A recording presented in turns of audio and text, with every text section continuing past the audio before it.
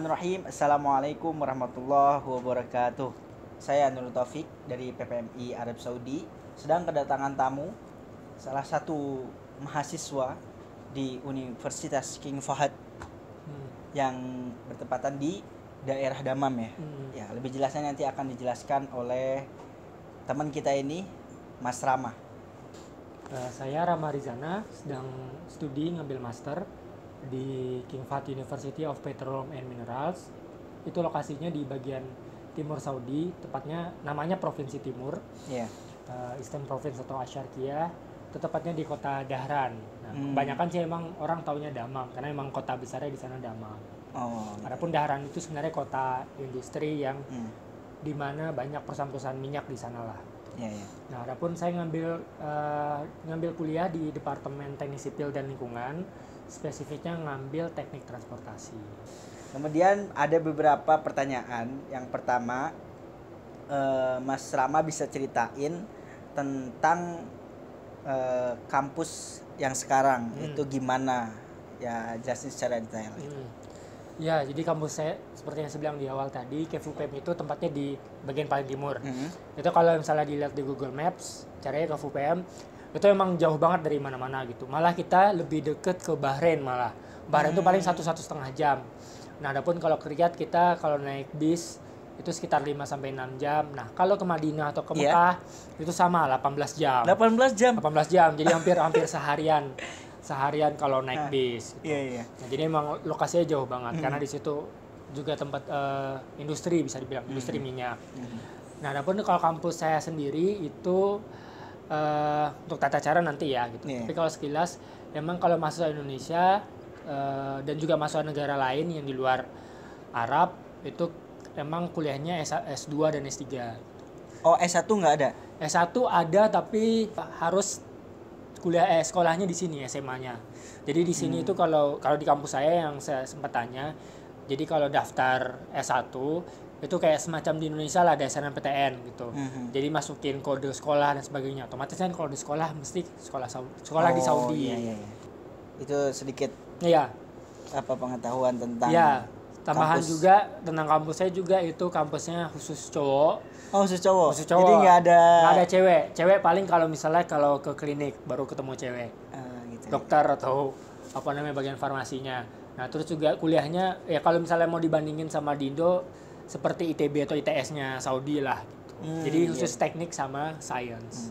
Dian langsung aja ke inti nih. Hmm. Inti dari pertanyaan nih dan yang ditunggu-tunggu kayaknya sama teman-teman ini. Hmm. Tata cara kuliah di sana Hmm. dari nol ibaratnya dari Hmm. nggak tahu gimana sih Cara apa aja daftarnya. ya harus dipersiapkan apa dulu. Ya, silakan Oke. Mas Rama.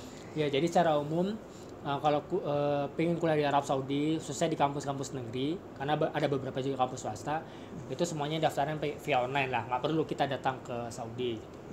Nah, jadi daftar via online ke uh, kampus yang dituju. Kalau kampus saya kan KVPM, itu cek websitenya. Uh, sebenarnya saya ada juga nanti mungkin di deskripsi ya, nanti Iya, ada Hmm. uh, tata cara pendaftarannya lebih jelas Hmm. beserta screenshot screenshotnya. Nah daftarnya itu dibuka dua kali setahun. Jadi tiap semester insya Allah buka ke VPM daftarnya. Iya, iya. Mungkin kalau kampus-kampus lain rata-rata sekali setahun. Hmm. Nah, itu bukanya bulan September sampai Oktober. Nah jadi baru tutup nih Oh. kemarin. Oh, udah. ya? Udah em, eh, baru baru lewat Hmm. beberapa hari eh, ditutup pendaftarannya. Sama di semester berikutnya itu eh, bulan Februari itu eh, pendaftarannya. Nah adapun untuk berkas-berkasnya yang mungkin dari sekarang udah bisa disiapin Hmm. itu berkas yang wajib ada harus ketika pas daftar itu yang pertama paspor Hmm. Itu jelas sebagai apa namanya data diri kita bukti identitas kita nama dan tanggal lahir dan sebagainya Hmm.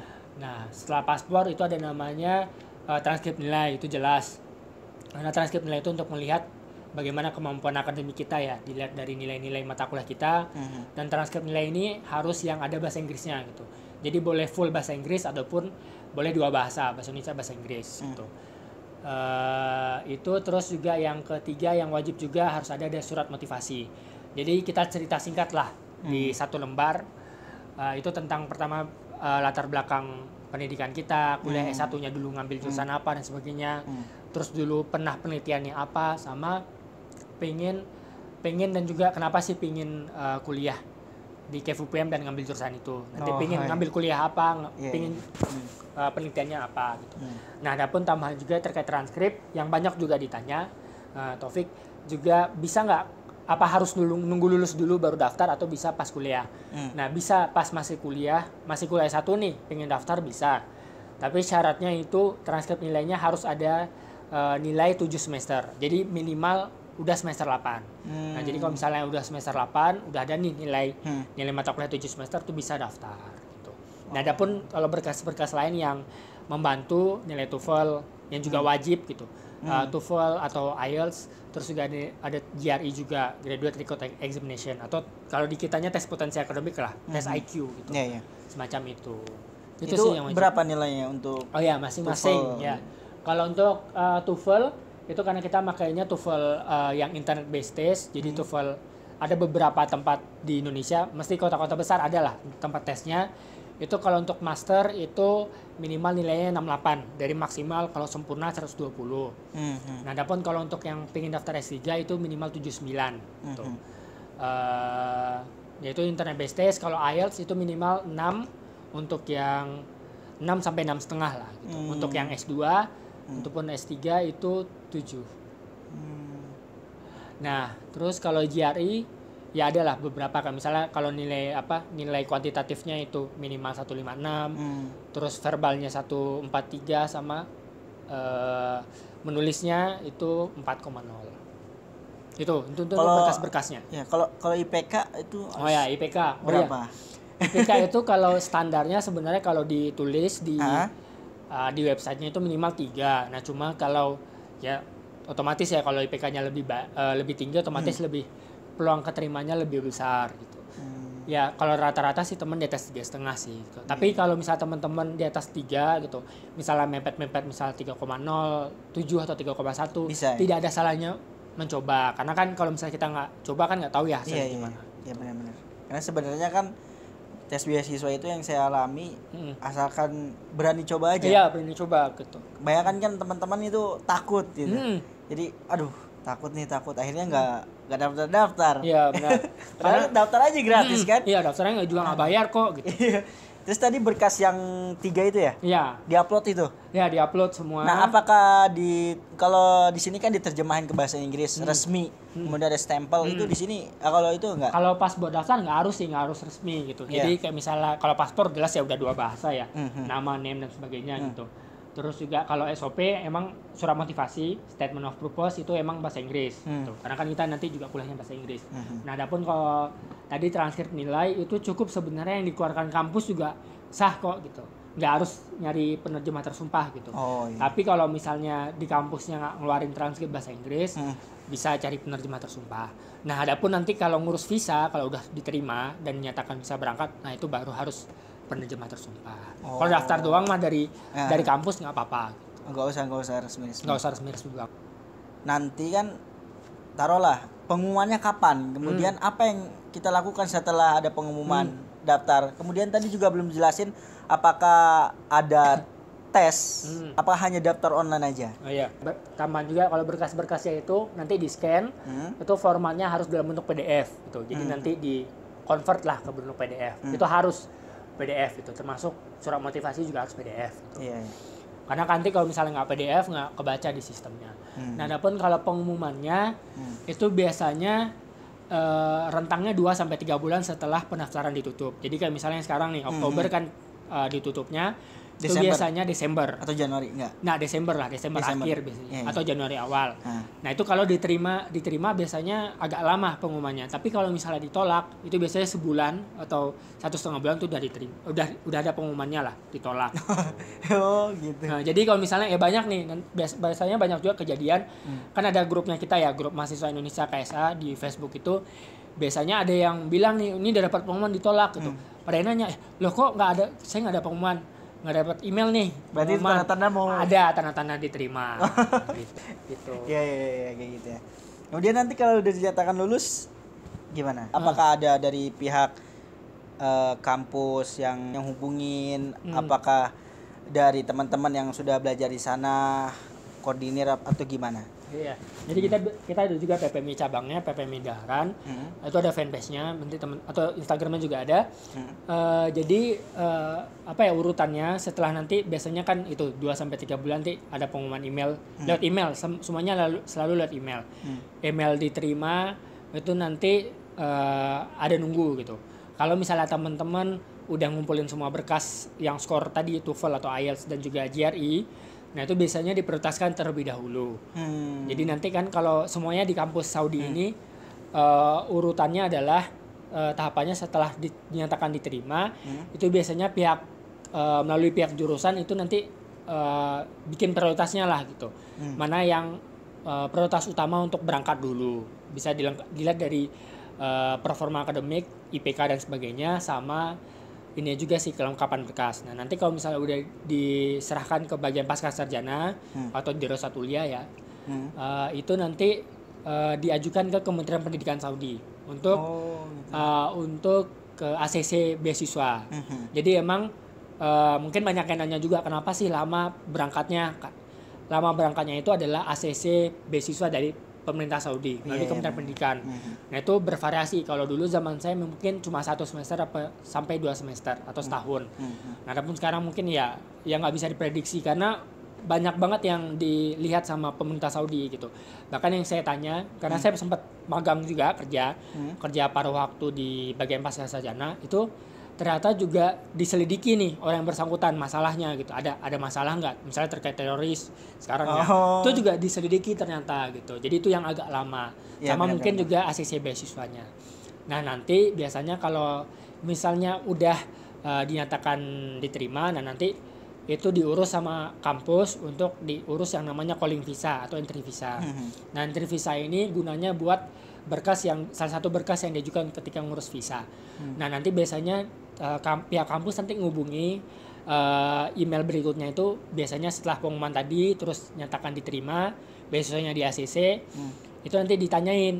Nah, nah, nanti mau ngurus visanya di kedutaan di kota mana gitu. Nah, nanti kalau misalnya udah dapat email itu berarti tandanya udah insya Allah tanda-tanda deket mau berangkat. Biasanya ya kayak misalnya sekarang nih eh, banyak yang eh, udah dapat po- email tadi, email ngurus visa di mana itu kan bulan Oktober ini. Nah, berarti untuk berangkat bulan Januari depan. Hmm. Semester depan insya Allah udah berangkat. Nah, adapun nanti kalau udah dapet email calling visanya, Hmm. nah itu nanti baru teman-teman bisa sebenarnya bisa lihat sih semuanya itu udah ada berkasnya baik di uh, Facebook saya ataupun website PPMI Dahran, PPMI Saudi ataupun di grup kita ada juga grup mahasiswa Indonesia KSA. Itu semuanya detail. Tapi yang jelas nanti kalau teman-teman intinya kalau udah udah dinyatakan berangkat, udah dapat calling visa, nanti bisa kontak kita. Nanti dibantu lah. Dibantu lah insya Allah. Ya.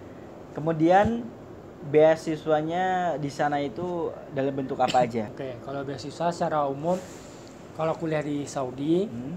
eh, kampus-kampus negerinya karena juga ada kampus swasta itu semuanya gratis. Emang kita tidak dipungut uang sepeser pun. Ya. Nah paling nanti ketika pas ngurus visa ya visa memang visa dari sendiri terus juga tiket tiket kita dulu nanggung sementara tapi nanti ketika di kampus diganti. Gitu. Nah adapun selain tadi uang Hmm. kuliah yang gratis kita juga dikasih uang saku nih uang saku itu kalau untuk yang satu kan 840 ya di Iya, Madinah. 840. 840 real. Nah, kalau kita 890. Oh, ada beda dikit. Beda dikit lah 890. Tapi tapi bisa tambahan sih kayak misalnya kita ada namanya yang yang sering juga ditanya, boleh Ah. nggak kerja? Nah, Gitu. Itu nggak boleh kalau di luar kampus gitu. kalau di kampus boleh bantu-bantu boleh? boleh bantu-bantu di kampus boleh. Nah, kalau soalnya kan di visa kita itu tertulis tertera gitu, visa kuliah atau visa uh, studi itu Hmm. Iya, tidak iya. tidak diizinkan untuk Bekerja. bekerja. Nah, Hmm. adapun nanti kalau misalnya bantu-bantu di kampus itu biasanya sekitar 1000 real lah tambahan per bulan. Bantu-bantu gimana contohnya? Contohnya bantu penelitian jelas itu satu. Terus Hmm. yang kedua bisa bantu dosen yang untuk ngoreksi kuliah. Oh, Itu ada juga ngoreksi. pernah nggak? Enggak, sekolah saya enggak itu. Kalau saya tadi bagian di pasca sarjana. Jadi bantu-bantu Ah. apa namanya seleksi berkas awal gitu. Oh, iya. Gitu. Ya itu ada tambahan gitu. Terus yang berikutnya selain uang saku tadi asrama. Hmm. Asrama gratis. Terus jadi uang saku tadi itu insya Allah bersih lah buat kita nggak ada bayar-bayar lagi lah. Paling cuma makan. Adapun kalau makan itu di kantin tuh murah gitu. Du- Sarapan 2 real, terus siang sama malam 4 real masing-masing. Mhm. Nah bahkan makannya full lah, eh, komplit 4 sampai 5 sempurna itu terpenuhi. Mulai dari nasi. Tiga kali. tiga kali berikutnya selain itu tiket tiap tahun eh, tiap eh, musim panas biasanya puasa ya itu gratis ke baik itu ke Jakarta maupun ke tempat lain sebenarnya tergantung kita ngu- nulisnya di mana Iya. Terus berikutnya eh, fasilitas kesehatan, olahraga gitu. Jadi di sini berobat kalau konsulta- konsultasi dan obat-obatannya gratis. Hmm. Bahkan teman saya ada yang sempat dioperasi juga, operasi usus buntu Gratis. Tuh, paling cuma nunjukin ini aja bukti bahwa mahasiswa dan Hmm, sebagainya gitu. Terus olahraga ya gym, terus renang, eh, lari, terus juga sepak bola dan sebagainya, bulu tangkis, basket. Oh, Grat- semuanya semuanya gratis. ada ya fasilitas Ada, di ada. kampus. Ada. Terus juga tadi textbook ya, buku Hmm. untuk rujukan kuliah juga gratis. Banyak sih. Tuh. Itu di dalam kampus Nah, apa misalkan asrama di luar apa? asrama di dalam kampus semua. dalam Deket. semuanya. Hmm. Kalau kampus jalan kaki bisa atau ada juga bis kampus. Kemudian ini nggak kalah penting juga Hmm. eh, faktor yang membuat seorang itu Hmm. ketika daftar diterima.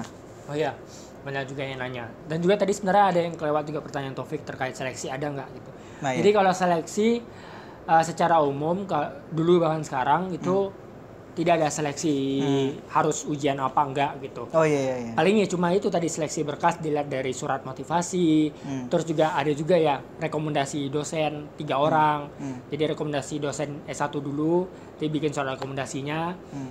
Nah itu terus juga yang dilihat juga tadi IPK juga, terus mungkin kalau ada pengalaman uh, penelitian atau publikasi itu juga membantu. Mhm. Nah sama sebenarnya yang pernah saya tanyakan juga di departemen saya, apa sih sebenarnya yang paling dilihat atau yang paling menentukan lah gitu, ketika seseorang diterima atau enggak. Yang pertama selain tadi ya IPK, terus dari diri sendiri itu yang dilihat juga kampusnya, kampus S1-nya Oh, itu S1-nya. dilihat dilihat karena sebenarnya yang paling dilihat itu adalah uh, reputasi dan juga dilihat uh, apa sih ya namanya kapabilitas lah Uh, ya reputasi kampus itu dalam mencetak lulusannya gitu jadi dilihat kalau standar gampangnya bisa dilihat dari web ranking dunia itu adalah nama kampusnya gitu Hmm. jadi kalau kampus tidak hanya kampus negeri, kampus swasta nggak usah khawatir. Saya juga dari kampus swasta. Nah terus berikutnya yang dilihat juga oh, dari jurusan, dari jurusan masing-masing itu pasti beda kriterianya. Ada ada beda-bedanya dikit lah gitu. Ya misalnya mungkin eh, contohnya kayak sekarang yang paling banyak daftar perminyakan itu pasti eh, dilihat ini ya juga IPK-nya pasti di atas tiga setengah itu pasti lebih besar kemungkinannya. Hmm. itu sih paling paling ininya. Nah Nah, adapun kalau tambahan juga kalau seleksi paling yang ada tambahan sekarang khusus untuk yang daftar geologi geofisika perminyakan sama environmental science atau Hmm. ilmu lingkungan itu nanti ada wawancara. Jadi ada wawancara Skype. Itu sih paling tambahan. Oh, tapi secara umum nggak ada tes tertulis nggak ada. Nggak ada yang ada tes. Praktek juga nggak ada tes. nggak ada Sepertinya udah jelas banget ya. Iya. Ah, Kalau misalkan ada yang kurang bisa langsung tanya ke Mas Rama atau tanya ke Instagram PPMI Arab Saudi, Saudi. atau langsung PPMI mana? Dahran Dahran. Ya. Nantilah alamatnya kita Hmm, taruh di bawah. di deskripsi Ya. Terima kasih Mas Rama, teman-teman semuanya. Mudah-mudahan Hmm. semakin banyak mahasiswa yang amin bisa kuliah di sana. Hmm. Baik teman-teman itu tadi ya, wawancara sangat-sangat banget ya. Hmm. Kemudian teman-teman bagi mungkin ada yang belum jelas boleh komen di bawah nanti atau ada saran yang lain ya mungkin ini menjadi video pertama di PPMI Saudi TV. Hmm. Mudah-mudahan ke depannya lancar dan banyak yang mengikuti dan banyak juga bermanfaat. Eh, mungkin itu aja teman-teman ya. Jangan lupa untuk ikuti terus ya subscribe dan juga like, komen, share juga share paling penting share. biar banyak yang tahu Iya biar kita semuanya bisa ketemu di sini. Hmm. Ya terima kasih Mas Rama. sama-sama banyak Besok berarti udah ke Damam ya, Insya Allah Insya Allah. Eh, terima kasih semua. Assalamualaikum warahmatullahi wabarakatuh. Salam perhimpunan. salam